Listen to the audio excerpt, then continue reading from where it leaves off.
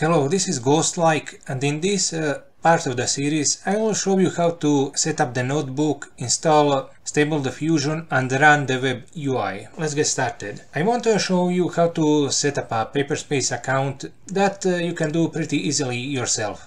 Instead, I will start by signing into my own.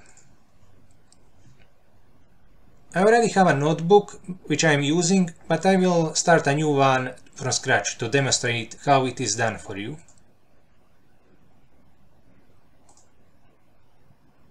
Click on create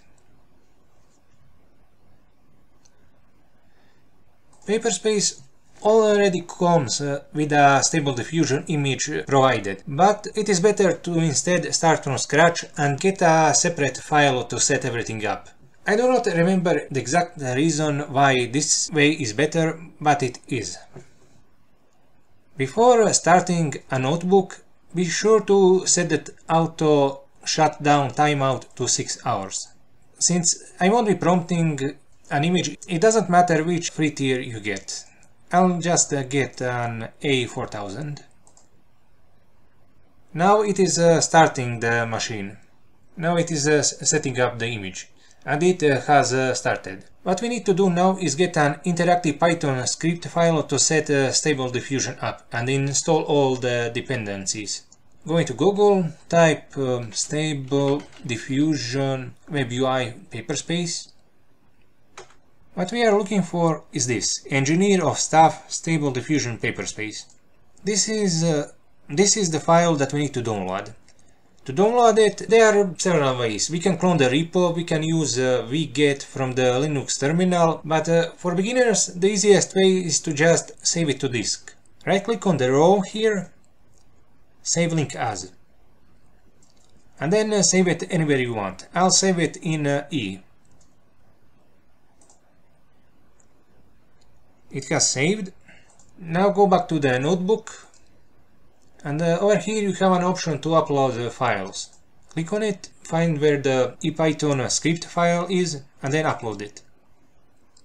Now setting uh, things up is pretty easy. But before we do that, I want to show you how to get uh, the Stable Diffusion model. You can download it yourself from the internet and I will show you how to do that later. But Paperspace already provides the model in its uh, datasets. From the data sources, click on Public and over here you will find uh, the Stable Diffusion. Just go, just scroll down We, we have a Stable Diffusion v2, but uh, for now the first one is better. Click on Mount. The, the reason we are doing this instead of downloading the model separately is because uh, the Paperspace tiers have a storage limit. The free tier $0 per month is 5 GB. Most stable diffusion models are between 3 and 5 GB uh, long, depending on whether they have been pruned or not, on, or whether they are float 16 or float 32. So if you go over the storage limit, you will get charged on your account. The Pro tier on which I am subscribed to has a limit of 15 gigabytes, which is enough to host a model or two, but not much more. So we will mount the Stable Diffusion Classic. I mean, we already did. Now we will set up the web UI. Click on the IPython notebook script. Then what we will do is uh, uncomment one of these. Since I'm on the pay tier, I need to uncomment this line. But if you are on the free tier, you should uncomment this. Then press Ctrl Enter to run the cell. Now we need to clone the web UI repository. Select the cell by clicking on it and then press Ctrl Enter to run it. This will uh, set up and install the web UI. But that is not all. We need to install the requirements and download the needed repositories. That is the external packages needed to run Stable Diffusion. While the above cell is still running, press Ctrl Enter to queue it. That means uh, this cell will run after the previous one has finished running. This one takes a few minutes to finish uh, setting up. By running these uh, scripts, you can um, download some of the external models, but, but don't. It will take up your storage space, and uh, in the next lecture I will show you how to download it uh, by yourself. There are better models than this one, than these ones.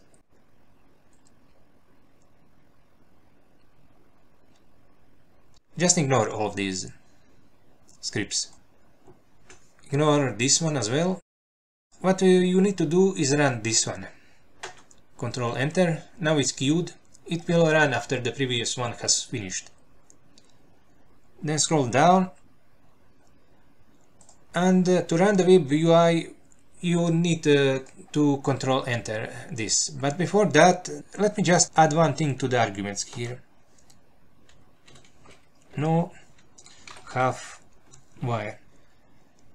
Sometimes when I upscale images in Stable Diffusion I get uh, black tiles. So by adding this the problem goes away. Now run this uh, cell.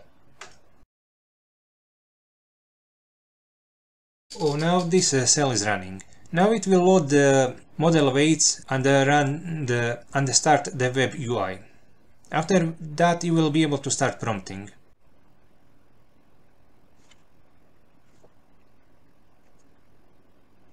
Now just uh, click on this uh, link and it will start the web UI in your browser.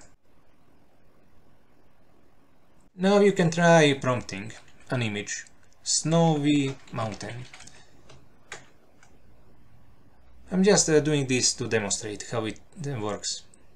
As a sneak preview into the following lectures, take a look at this uh, image that I am prompted. I just put in this uh, description in the positive prompt, this in the negative, selected the optimizer DPM++ 2M Karras. Then I've uh, selected the high-res fix, selected the upscaling by 2.5 times and uh, then pressed generate. That uh, turned uh, the primitive and simple image we saw in the previous slide into this uh, masterpiece. Take a look at how it uh, is when it's upscaled. Pretty nice, huh? In the next lectures, I will show you how to download and use other models than the current uh, vanilla stable diffusion one. I will also show you how to prompt beautiful landscapes, such as this one, and how to prompt the only girls you see in the thumbnails. So stay tuned!